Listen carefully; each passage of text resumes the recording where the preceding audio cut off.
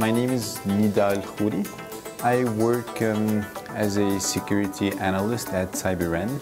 Presenting at uh, an IEEE conference at MIT was, was a very unique experience. Um, they were all surprised to know that we're actually master's degree students. They probably were all expecting PhDs, and they were actually more surprised when, when they knew that it wasn't only me. There was seven other students from our Concordia that were presenting uh, during that weekend.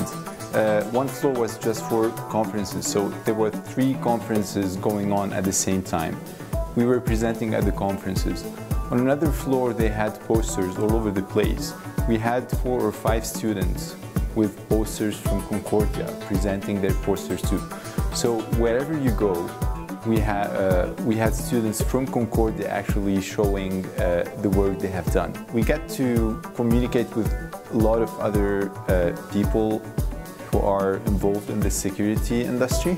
All telecommunication companies had representative just to get to know what is the latest technology, what are the latest research being uh, done on this specific area. And having the opportunity to actually talk to those people, ask questions and uh, discuss those ideas with professionals that are actually being hired by the US government is something you can do every day.